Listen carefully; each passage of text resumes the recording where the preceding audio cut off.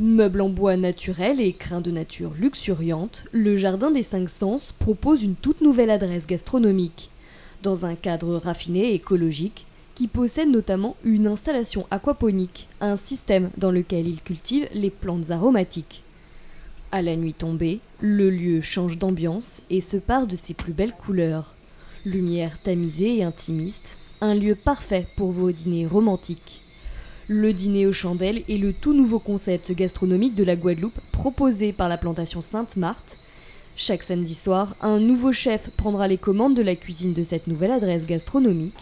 Le premier à porter la toque ce samedi est Jérôme Flateau, chef originaire de Saône-et-Loire, installé depuis 10 ans en Guadeloupe. Euh, aujourd'hui, notre événement en restauration, c'est que le samedi. Nous travaillons sur d'autres projets comme des after-work, comme des soirées cocktails, euh, comme des chefs surprises qu'on va faire venir de métropole. Donc là, c'est d'autres projets qui vont venir. Celui qui est la locomotive aujourd'hui, c'est le dîner aux chandelles. Et celui-ci va déjà nous permettre de, donner envie à, certaines personnes de, venir faire leurs projets privés ici.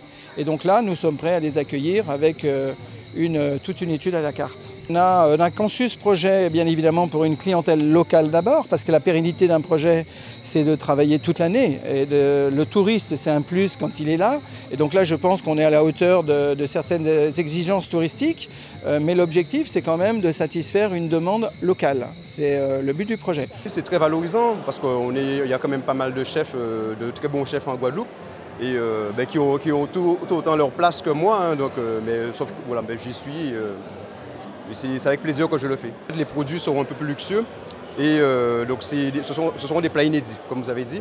Donc avec ben, beaucoup de créativité, beaucoup de finesse, comme on le fait déjà dans nos, restaurants respectifs. Et voilà, donc ça sera un challenge aussi de, toujours pour valoriser le, terroir antillais. De faire se faire découvrir aussi un peu plus. Alors que la Guadeloupe connaît une recrudescence de chiens errants, certaines municipalités se mobilisent et mettent en place des protocoles particuliers afin de gérer la problématique de l'errance canine. Nous nous sommes rendus dans la ville de Sainte-Anne. Accident de la route, attaque de troupeaux ou sac poubelle éventré, en Guadeloupe la problématique des chiens errants est quotidienne. Ici à Sainte-Anne, ce sont les policiers municipaux qui réalisent des rondes spéciales afin de localiser des animaux errants ou répondre aux signalements d'habitants comme ici dans le quartier de Bérard. On a une capture programmée chaque mois, une à deux captures par mois. Et en dehors de ça, on est en contact permanent avec la fourrière, ce qui fait qu'on les appelle régulièrement dès qu'il y a une urgence sur un truc pour euh, une intervention euh, ou dans les heures qui suivent pour euh, régler au mieux le problème. Selon la loi, la gestion de l'errance canine est du ressort des maires, mais le plus souvent, ces chiens errants sont en fait des chiens de propriétaires qu'ils laissent divaguer dans la rue.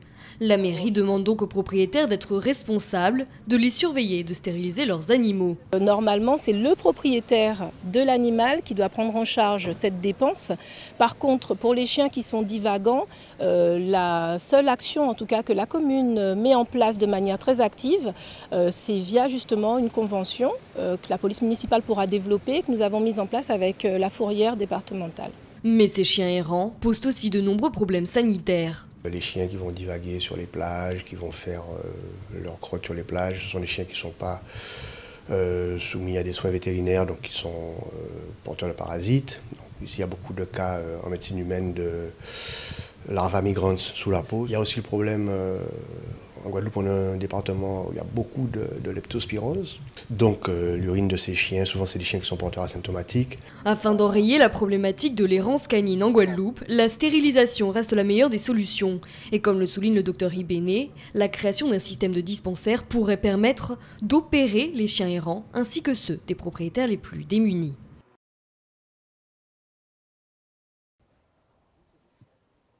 À l'occasion de la Semaine européenne de la réduction des déchets, organisée par l'ADEME, la communauté d'agglomération La Riviera du Levant propose des journées portes ouvertes toute la semaine afin de sensibiliser les Guadeloupéens au tri de leurs déchets. Nous nous sommes rendus ce matin à la déchetterie intercommunale de Sainte-Anne. Trier ses déchets, un geste simple et pourtant très peu pratiqué en Guadeloupe. Chaque année, Près de 370 000 tonnes de déchets sont produits, soit plus d'une tonne par habitant. Des déchets destinés à l'enfouissement dans 70% des cas, dans des décharges déjà pleines, alors qu'une grande partie pourrait être revalorisée. Le fait de ne pas trier ces déchets augmente euh, la part d'ordures ménagères et cette part euh, n'est pas traitée, du moins son, sa, méthode de revalorisation est l'enfouissement et donc il n'y a, pas réellement de valorisation. Contrairement à, d'autres types de matériaux comme euh, la ferraille, comme les déchets verts, comme, comme les encombrants qui eux sont revalorisés et orientés vers des filières de revalorisation. Le plan d'élimination des déchets ménagers a pour objectif une réduction des déchets à la source de 25% d'ici 2020 cette semaine est donc l'occasion d'apprendre à diminuer la quantité de déchets que nous produisons chaque jour et opter pour la réparation plutôt que de jeter ces objets cassés. Plusieurs associations ont répondu présent cette semaine, comme la Gratiferia ou le Fab Lab, qui se sont lancés dans la réparation d'une lampe pour enfants et d'une multiprise présumée cassée. Après l'avoir démontée, le diagnostic tombe. L'interrupteur était fatigué, mais comme je n'avais pas de quoi le changer ou le réparer, donc j'ai préféré euh, carrément le court-circuiter. On a un bloc direct, sans interrupteur. Il y en a qui vont dire que ça vaut peut-être 15 euh, euros en magasin, mais c'est toujours 15 euros euh, en moins dans la poubelle, mais c'est surtout du plastique et du matériel qui sert de nouveau. Donner une seconde vie à ces objets que l'on pense obsolètes, un moyen efficace de réduire la quantité de déchets et d'effectuer des économies non négligeables. En Guadeloupe, la gestion des déchets coûte 170 euros par habitant chaque année contre 89 euros en hexagone.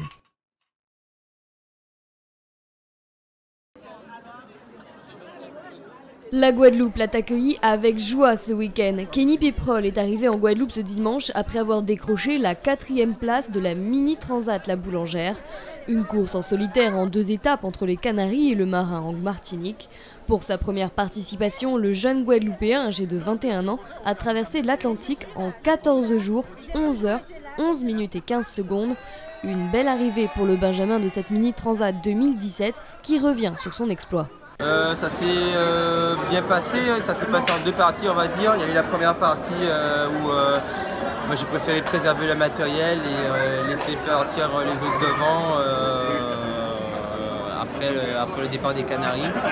Je pense que ça a pas mal payé parce que je ne me suis pas dans des situations délicates où euh, j'ai pu avoir à casser du matériel. Et ensuite, après le Cap Vert, ça a été vraiment la, traversée de l'Atlantique et là j'ai pu me mettre à mon rythme, retrouver les sensations que j'ai eues pendant la Transat désert.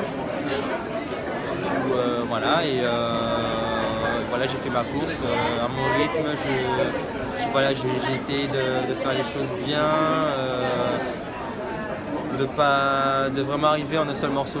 L'important c'était d'arriver, c'était ma première traversée en solitaire, donc euh, voilà, c'était ça l'objectif. Kenny est un exemple aujourd'hui. Euh, nous espérons que d'autres jeunes Guadeloupéens s'y mettent et que, parce que cela aussi participe au développement du pays, à faire en sorte que les gens découvrent la Guadeloupe, que et à partir de cela, euh, la région euh, étant, euh, pourrait mettre les moyens pour accompagner de telles aventures. Une autre arrivée maintenant, celle des passagers du tout premier vol inaugural qui relie directement la ville d'Atlanta aux États-Unis à la Guadeloupe. Ils sont arrivés hier après-midi à l'aéroport de Pointe-à-Pitre. Cette nouvelle ligne proposée par Air France s'inscrit dans la stratégie régionale présentée par le président de région qui a pour objectif de recevoir d'ici à 2020 un million de touristes et d'atteindre un milliard de chiffre d'affaires, une nouvelle destination indispensable pour conquérir le marché touristique américain. C'est une orientation fondamentale, elle est, très importante parce qu'elle permet de rayonner sur l'ensemble des États-Unis. Comme vous l'avez constaté, Atlanta est un des plus gros hubs euh, que l'on peut avoir aux États-Unis. Et euh, là, dans la journée ou dans un, rayon, dans un, comment dans un horaire très très proche, on peut rejoindre plus d'une soixantaine de, grandes villes des États-Unis. Donc euh, pour nous, Atlanta, c'est véritablement un des points importants de la stratégie de conquête du marché américain. Alors, il y a, vous savez, il y a deux choses pour remplir un avion. Il y a les Guadeloupéens qu'il faut mettre dans l'avion pour les envoyer aux États-Unis, et puis surtout, il y a les Américains à, convaincre de venir en Guadeloupe pour faire euh, du tourisme. C'est cette clientèle première en nombre que nous allons essayer de convaincre. Ensuite, les Guadeloupéens, ils ont beaucoup d'intérêt à aller aux États-Unis en vacances ou pour le business. Avec deux vols par semaine, vous pouvez faire un aller-retour pour le travail ou pour les vacances.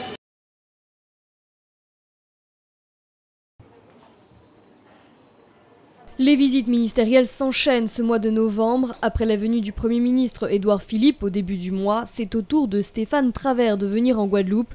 Le ministre de l'Agriculture et de l'Alimentation est arrivé hier à l'aéroport de Pointe-à-Pitre.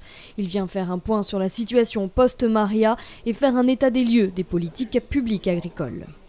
Il y a beaucoup à faire, bien évidemment. Euh, d'abord, il y a euh, tout ce qui va concerner euh, les suites de, l'ouragan euh, et nous devons euh, travailler pour faire en sorte que euh, nous puissions redonner du souffle à l'agriculture après avoir subi des dommages très, très importants. Il faut aller parler aux pêcheurs et là aussi nous avons de bonnes nouvelles sur notamment le renouvellement de la flottille et nous aurons l'occasion d'y revenir à travers le déplacement. Nous allons parler formation et nous allons tout de suite visiter un lycée agricole et je crois que c'est important aussi de valoriser des savoir-faire parce que qu'est-ce qui fait et qu'est-ce qui constitue l'agriculture de demain sur l'ensemble du territoire? Eh bien, c'est la formation. Ce sont des jeunes qui, demain, parce qu'ils seront bien formés, sont des jeunes qui, demain, parce qu'ils auront euh, eu euh, les techniques d'élevage ou les techniques de, culture, eh bien, c'est cela qui leur permettra, euh, demain, eh bien, d'être de bons chefs d'exploitation et de pouvoir créer leur entreprise et faire créer de la compétitivité.